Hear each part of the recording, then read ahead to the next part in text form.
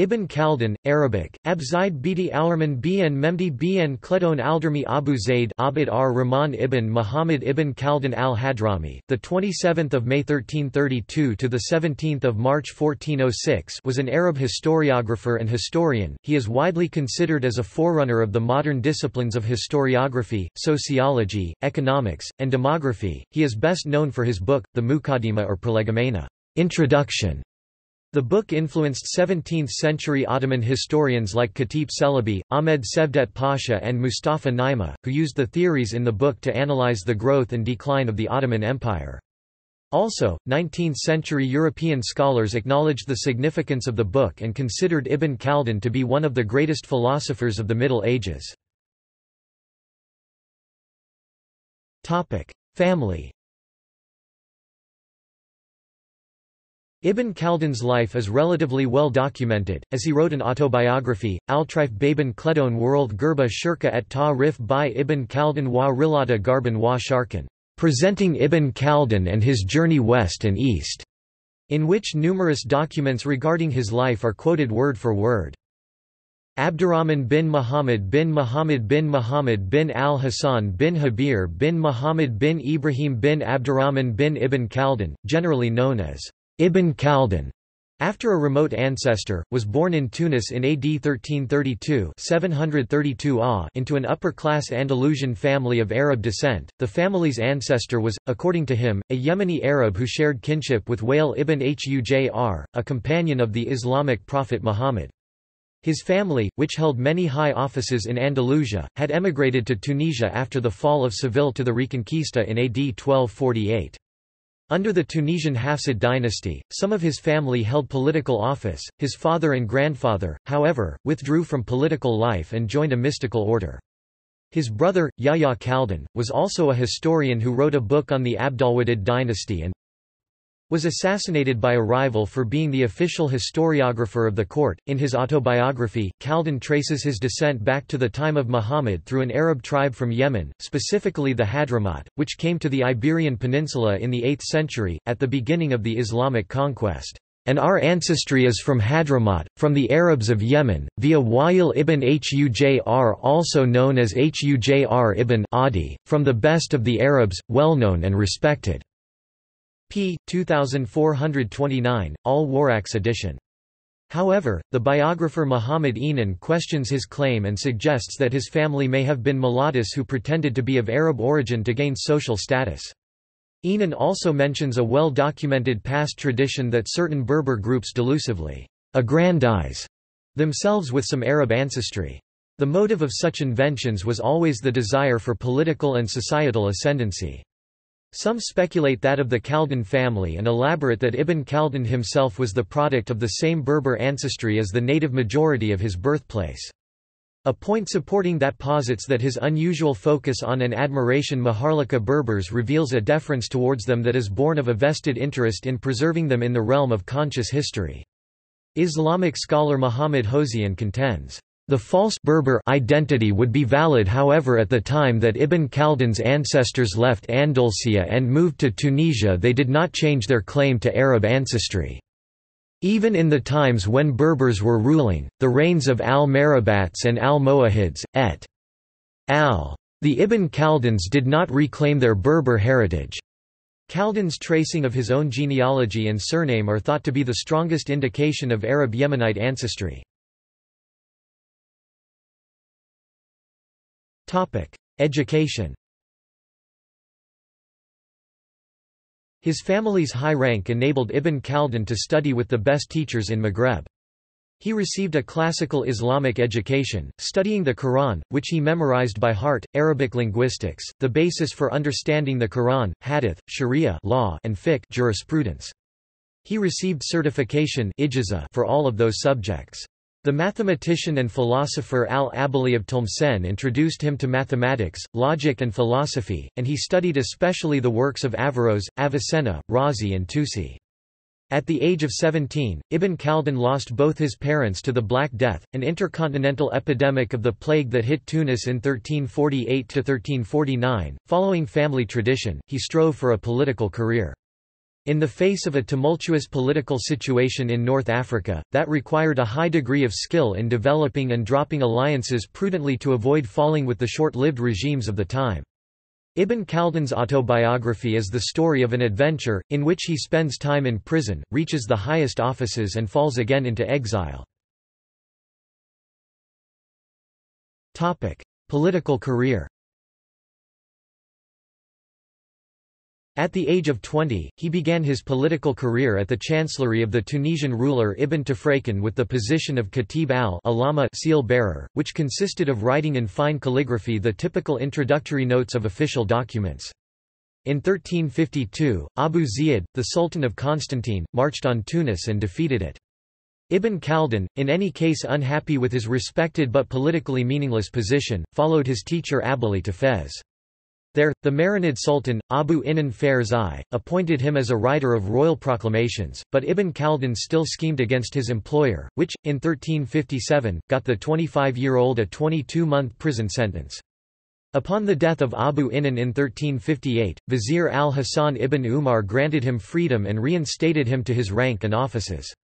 Ibn Khaldun then schemed against Abu Inan's successor, Abu Salim Ibrahim III, with Abu Salim's exiled uncle, Abu Salim. When Abu Salem came to power, he gave Ibn Khaldun a ministerial position, the first position to correspond with Ibn Khaldun's ambitions.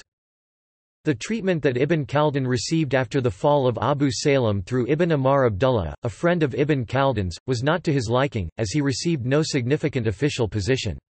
At the same time, Amar successfully prevented Ibn Khaldun, whose political skills he knew well, from allying with the Abd al-Wadids in Tlemcen. Ibn Khaldun, therefore, decided to move to Granada. He could be sure of a positive welcome there since at Fez, he had helped the Sultan of Granada, the Nasrid Muhammad V, regain power from his temporary exile. In 1364, Muhammad entrusted him with a diplomatic mission to the King of Castile, Pedro the Cruel, to endorse a peace treaty. Ibn Khaldun successfully carried out this mission and politely declined Pedro's offer to remain at his court and have his family's Spanish possessions returned to him. In Granada, Ibn Khaldun quickly came into competition with Muhammad's vizier, Ibn al-Khatib, who viewed the close relationship between Muhammad and Ibn Khaldun with increasing mistrust. Ibn Khaldun tried to shape the young Muhammad into his ideal of a wise ruler, an enterprise that Ibn al-Khatib thought foolish and a danger to peace in the country. History proved al-Khatib right, and at his instigation, Ibn Khaldun was eventually sent back to North Africa. Al-Khatib himself was later accused by Muhammad of having unorthodox philosophical views and murdered despite an attempt by Ibn Khaldun to intercede on behalf of his old rival. In his autobiography, Ibn Khaldun tells little about his conflict with Ibn al-Khatib and the reasons for his departure.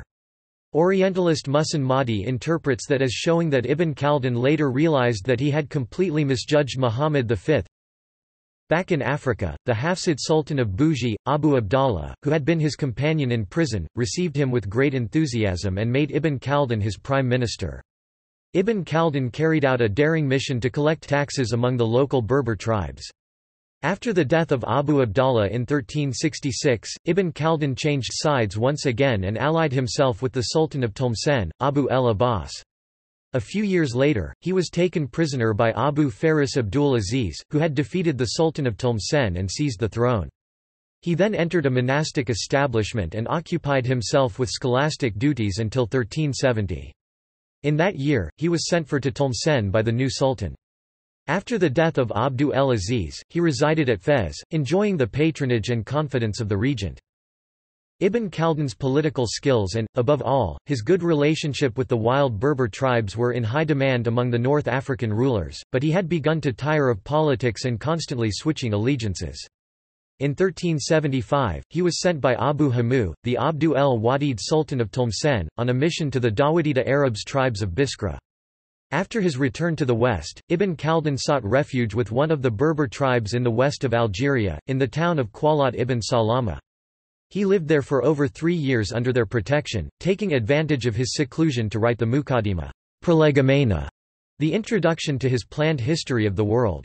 In Ibn Salama, however, he lacked the necessary texts to complete the work. Therefore, in 1378, he returned to his native Tunis, which had meanwhile been conquered by Abu el-Abbas, who took Ibn Khaldun back into his service. There, he devoted himself almost exclusively to his studies and completed his history of the world. His relationship with Abu el-Abbas remained strained, as the latter questioned his loyalty. That was brought into sharp contrast after Ibn Khaldun presented him with a copy of the completed history that omitted the usual panegyric to the ruler. Under pretense of going on the Hajj to Mecca, something a Muslim ruler could not simply refuse permission for Ibn Khaldun was able to leave Tunis and to sail to Alexandria. Later life Ibn Khaldun said of Egypt, he who has not seen it does not know the power of Islam. While other Islamic regions had to cope with border wars and inner strife, the Mamluks let Egypt experience a period of economic prosperity and high culture. However, even in Egypt, where Ibn Khaldun lived out his days, he could not stay out of politics completely. In 1384, the Egyptian Sultan, al-Malik Udh Dahir Barquq, made him professor of the Kamhia Madrasa and the Grand Qadi of the Maliki School of Fiqh one of four schools. The Maliki school was widespread primarily in Western Africa. His efforts at reform encountered resistance, however, and within a year, he had to resign his judgeship. A contributory factor to his decision to resign may have been the heavy personal blow that struck him in 1384, when a ship carrying his wife and children sank off the coast of Alexandria. Ibn Khaldun now decided to complete the pilgrimage to Mecca, after all. After his return in May 1388, Ibn Khaldun concentrated more strongly on a purely educational function at various Cairo madrasas. At court, he fell out of favor for a time, as during revolts against Barquq, he had, apparently under duress, with other Cairo jurists, issued a fatwa against Barquq. Later relations with Barquq returned to normal, and he was once again named the Maliki Qadi. Altogether, he was called six times to that high office, which, for various reasons, he never held long. In 1401, under Barquq's successor, his son Faraj, Ibn Khaldun took part in a military campaign against the Mongol conqueror, Timur, who besieged Damascus in 1400. Ibn Khaldun cast doubt upon the viability of the venture and really wanted to stay in Egypt. His doubts were vindicated, as the young and inexperienced Faraj, concerned about a revolt in Egypt, left his army to its own devices in Syria and hurried home. Ibn Khaldun remained at the besieged city for seven weeks, being lowered over the city wall by ropes to negotiate with Timur, in a historic series of meetings that he reported extensively in his autobiography. Timur questioned him in detail about conditions in the lands of the Maghreb. At his request, Ibn Khaldun even wrote a long report about it. As he recognized Timur's intentions, he did not hesitate, on his return to Egypt, to compose an equally extensive report on the history of the Tatars, together with a character study of Timur, sending them to the Marinid rulers in Fez Maghreb. Ibn Khaldun spent the next five years in Cairo completing his autobiography and his history of the world and acting as teacher and judge. Meanwhile, he was alleged to have joined an underground party, Rijal Hawa Rijal, whose reform-oriented ideals attracted the attention of local political authorities. The elderly Ibn Khaldun was placed under arrest. He died on 17 March 1406, one month after his sixth selection for the office of the Maliki Qadi judge. Works Kitab al-Ibar Ibn Khaldun main work is the Kitab al-Ibar or Book of Lessons. Full title, Kitab al-Ibar wa Dawan al-Mutada wa el-Kabar fi Tariq al-Arab wa el-Barbar wa man asarahum min dawi ash shah n al-Akbar. Book of Lessons, Record of Beginnings and Events in the History of the Arabs and the Berbers and their Powerful Contemporaries.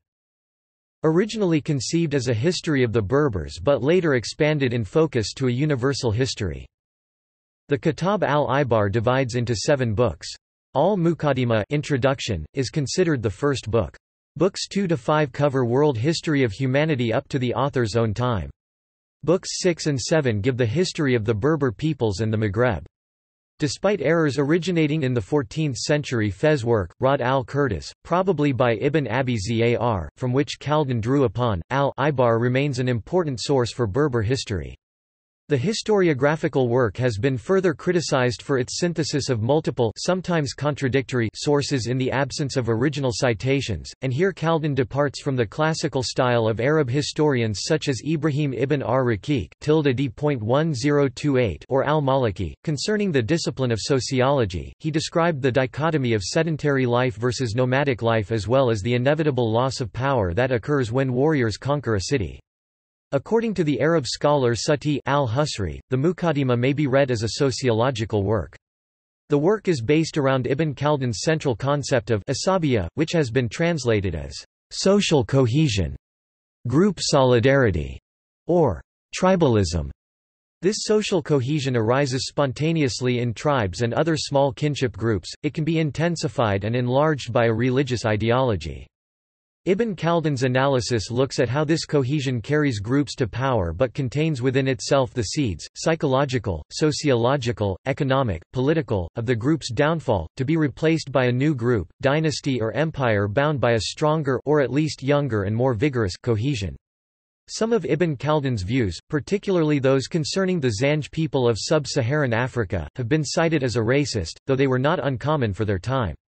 According to the scholar Abdelmajid Hannoum, Ibn Khaldun's description of the distinctions between Berbers and Arabs were misinterpreted by the translator William McGuckin de Slane, who wrongly inserted a racial ideology that sets Arabs and Berbers apart and in opposition.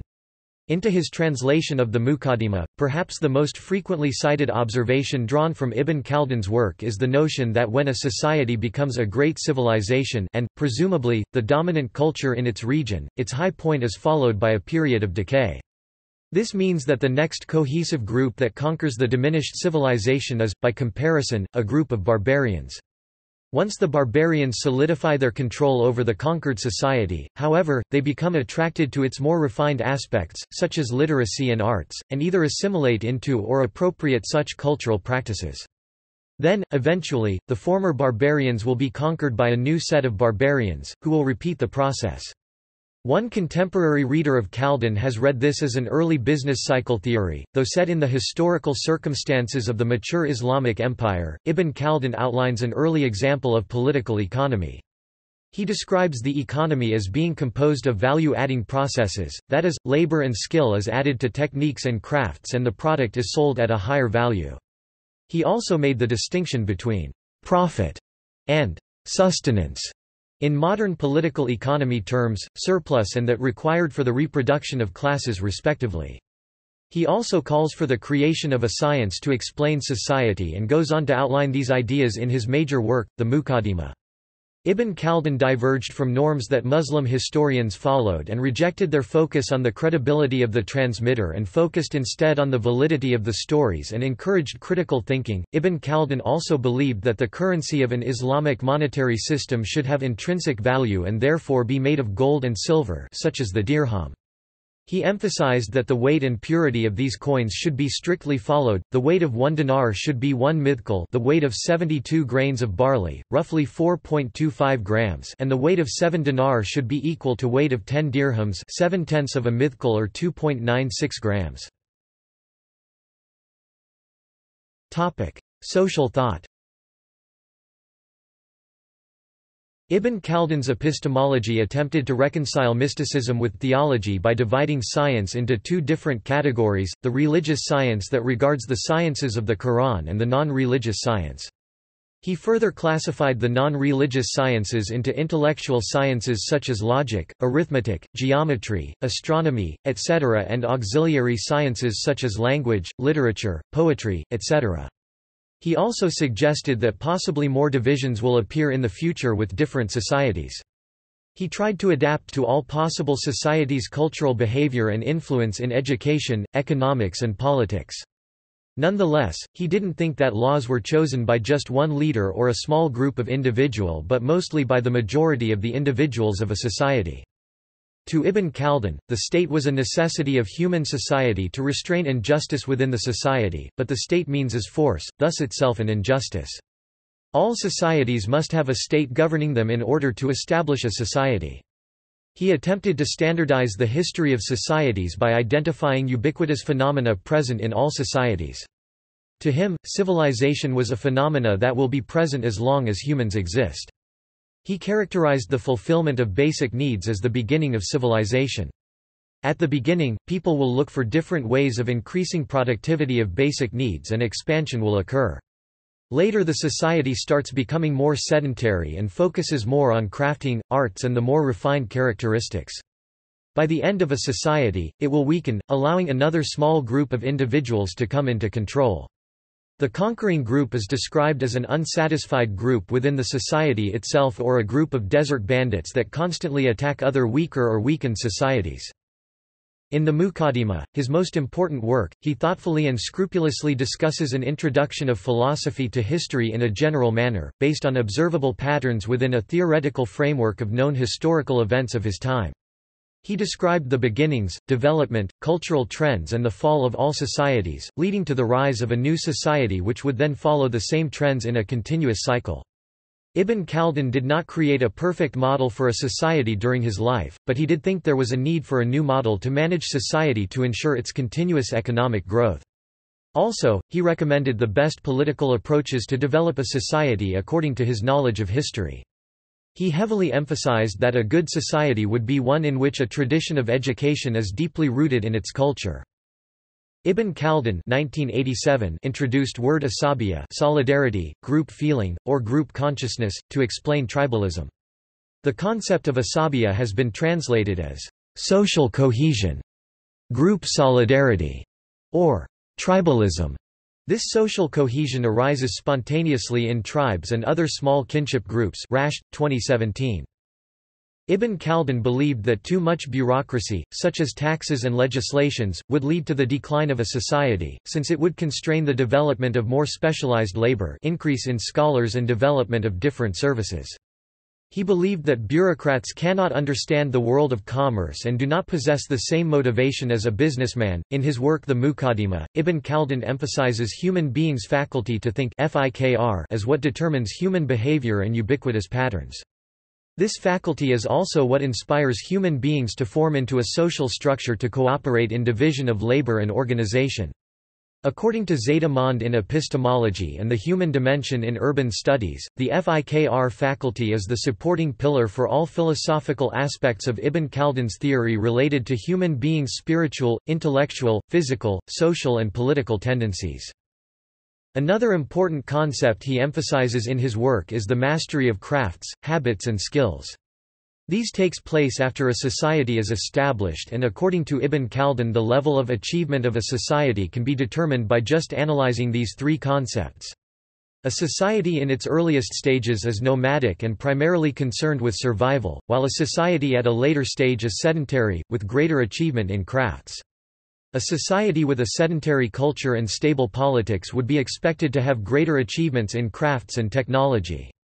Ibn Khaldun also emphasized in his epistemology theory the important aspect that educational tradition plays to ensure the new generations of a civilization continuously improve in the sciences and develop culture. Ibn Khaldun argued that without the strong establishment of an educational tradition, it would be very difficult for the new generations to maintain the achievements of the earlier generations, let alone improve them. Another way to distinguish the achievement of a society would be the language factor of a society, since for him the most important element of a society would not be land, but the language spoken by them. He was surprised that many non-Arabs were really successful in the Arabic society, had good jobs and were well received by the community. These people were non-Arab by descent, but they grew up among the Arabs who possessed the habit of Arabic. Ibn Khaldun once recalled, B a cause of this, they were able to master Arabic so well that they cannot be surpassed." He believed that the reason why non-Arabs were accepted as part of Arab society was due to their mastery of the Arabic language.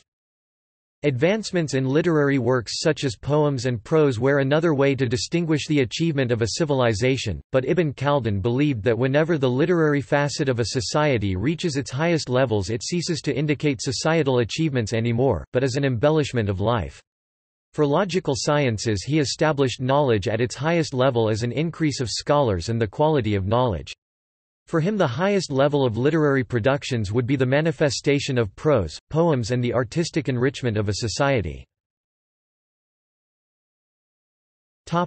Minor works From other sources we know of several other works, primarily composed during the time he spent in North Africa and Al-Andalus. His first book, Lubabu el-Muhassal, a commentary on the Islamic theology of Fakhr al-Din al-Razi, was written at the age of 19 under the supervision of his teacher al-Abali in Tunis.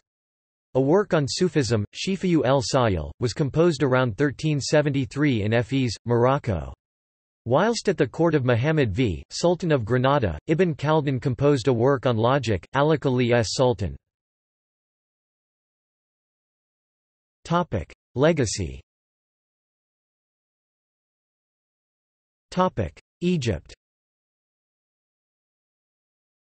Ibn Khaldun's historical method had very few precedents or followers in his time. While Ibn Khaldun is known to have been a successful lecturer on jurisprudence within religious sciences, only very few of his students were aware of, and influenced by, his Muqaddimah. One such student, al-Makrizi, praised the Muqaddimah, although some scholars have found his praise, and that of others, to be generally empty and lacking understanding of Ibn Khaldun's methods. Ibn Khaldun also faced primarily criticism from his contemporaries, particularly Ibn Hajar al-Asqalani. These criticisms included accusations of inadequate historical knowledge, an inaccurate title, disorganization, and a style resembling that of the prolific Arab literature writer, al-Jahiz. Al-Asqalani also noted that Ibn Khaldun was not well liked in Egypt because he opposed many respected traditions, including the traditional judicial dress, and suggested that this may have contributed to the reception of Ibn Khaldun's historical works. The notable exception to this consensus was Ibn al-Azraq, a jurist who lived shortly after Ibn Khaldun and quoted heavily from the first and fourth books of the Kitab al-Ibar, in developing a work of mirrors for princes. Ottoman Empire Ibn Khaldun's work found some recognition with Ottoman intellectuals in the 17th century. The first references to Ibn Khaldun in Ottoman writings appeared in the middle of the 17th century, with historians such as Kâtip Çelebi naming him as a great influence, while another Turkish Ottoman historian, Mustafa Naima, attempted to use Ibn Khaldun's cyclical theory of the rise and fall of empires to describe the Ottoman Empire. Increasing perceptions of the decline of the Ottoman Empire also caused similar ideas to appear independently of Ibn Khaldun in the 16th century, and may explain some of the influence of his works. Europe In Europe, Ibn Khaldun was first brought to the attention of the Western world in 1697, when a biography of him appeared in Barthélemy d'Herbelot de Moulaineville's Bibliothèque orientale. However, some scholars believe that Ibn Khaldun's work may have first been introduced to Europe via Ibn Arabshah's biography of Tamerlane, translated to Latin, which covers a meeting between Ibn Khaldun and Tamerlane. According to Ibn Arabshah, during this meeting, Ibn Khaldun and Tamerlane discussed the Maghrib in depth, as well as Tamerlane's genealogy and place in history. Ibn Khaldun began gaining more attention from 1806, when Silvestre de Sacy's Chrestomathy Arabe included his biography together with a translation of parts of the Muqaddimah as the Prolegomena. In 1816, de Sacy again published a biography with a more detailed description on the Prolegomena. More details on and partial translations of the Prolegomena emerged over the years until the complete Arabic edition was published in 1858. Since then, the work of Ibn Khaldun has been extensively studied in the Western world with special interest. Early European works on Ibn Khaldun suffered heavily from colonial influences and Orientalism, as many sociologists considered North Africa to be unworthy of studying in the 19th century. Additionally, many sociologists viewed Ibn Khaldun as the only North African sociologist worth studying. Reynold A. Nicholson praised Ibn Khaldun as a uniquely brilliant Muslim sociologist, but discounted Khaldun's influence. Spanish philosopher José Ortega y Gasset viewed the conflicts of North Africa as a problem that stemmed from a lack of African thought, and praised Ibn Khaldun for making sense of the conflict by simplifying it to the relationship between the nomadic and sedentary modes of life. Ibn Khaldun's contributions to economics were ignored by historians like Joseph Schumpeter, who wrote that, We may safely leap over 500 years to the epoch of St. Thomas Aquinas, as late as 1954. While Ibn Khaldun lived after St. Thomas Aquinas, Schumpeter makes only passing references to Khaldun, and excludes Khaldun's predecessors. However, modern historians have recognized the contributions of Ibn Khaldun and many of his predecessors. Modern historians Modern historians have also been complementary in their analysis of Ibn Khaldun's works, and acknowledgement of his contemporaries or standing compared to European scholars is increasingly common. Influential British historian and international affairs specialist Arnold J. Toynbee has called Ibn Khaldun's Muqaddimah, the greatest work of its kind. Ernest Gellner, once a professor of philosophy and logic at the London School of Economics, considered Khaldun's definition of government the best in the history of political theory. More moderate views on the scope of Ibn Khaldun's contributions have emerged. Arthur Laffer, for whom the Laffer curve is named, acknowledged that Ibn Khaldun's ideas, as well as others, precede his own work on that curve. A focus on understanding the nuances of Ibn Khaldun's contributions is present, with scholars commenting on the specifics of Khaldun's work, such as, "...Ibn Khaldun chose to ignore all those crafts which are neither necessary, nor honorable," and that Ibn Khaldun depicts what really happens, he does not discuss whether the state ought, or ought not, to interfere. As a historian and sociologist, Ibn Khaldun was recognized by the British philosopher Robert Flint, who wrote, as a theorist of history he had no equal in any age or country until Vico appeared, more than 300 years later. Plato, Aristotle, and Augustine were not his peers, and all others were unworthy of being even mentioned along with him. Ibn Khaldun's work on evolution of societies also influenced Egon Orowan, who termed the concept of socionomy. While Ibn Khaldun's record-keeping is usually passed over in favor of recognizing his contributions to the science of history, Abderrahmane Lakhsassi wrote, "...no historian of the Maghreb since and particularly of the Berbers can do without his historical contribution." Public recognition Public recognition of Ibn Khaldun has increased in recent years. In 2004, the Tunisian Community Center launched the first Ibn Khaldun Award to recognize a Tunisian, American high achiever whose work reflects Ibn Khaldun's ideas of kinship and solidarity. The award was named after Ibn Khaldun for him being universally acknowledged as the father of sociology and also for the convergence of his ideas with the organization's objectives and programs. In 2006, the Atlas Economic Research Foundation launched an annual essay contest for students named in Ibn Khaldun's honor.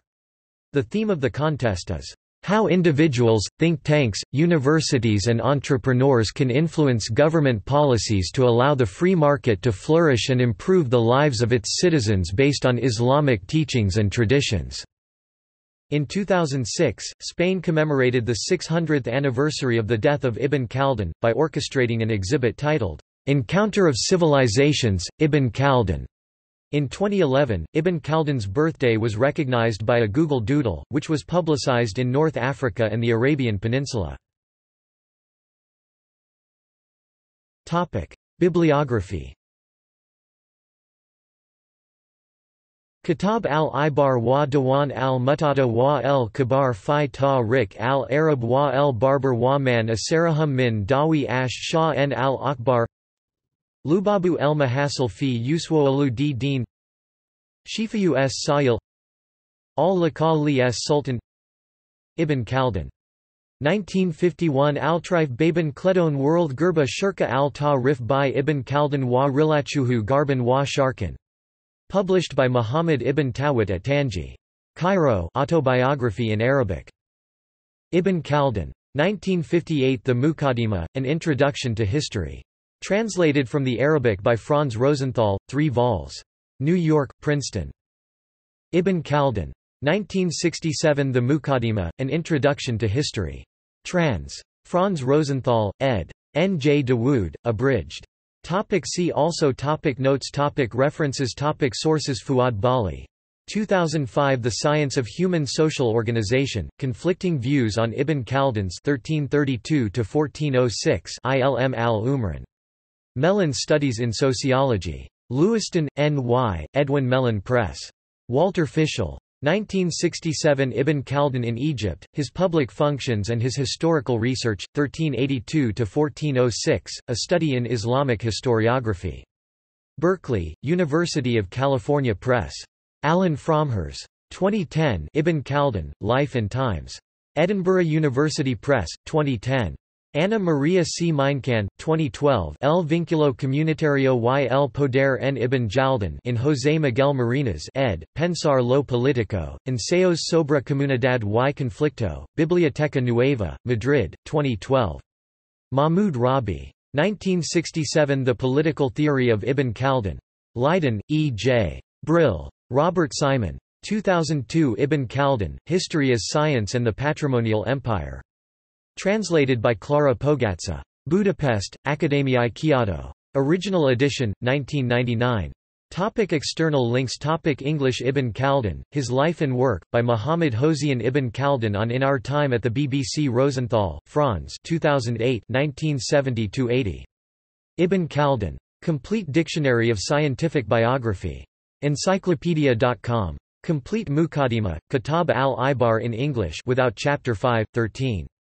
The Tunisian American Center USA Ibn Khaldun on the web Muslim scientists and scholars, Ibn Khaldun Ibn Khaldun's philosophy of management and work Ibn Khaldun al methodology and concepts of economic sociology Ibn Khaldun.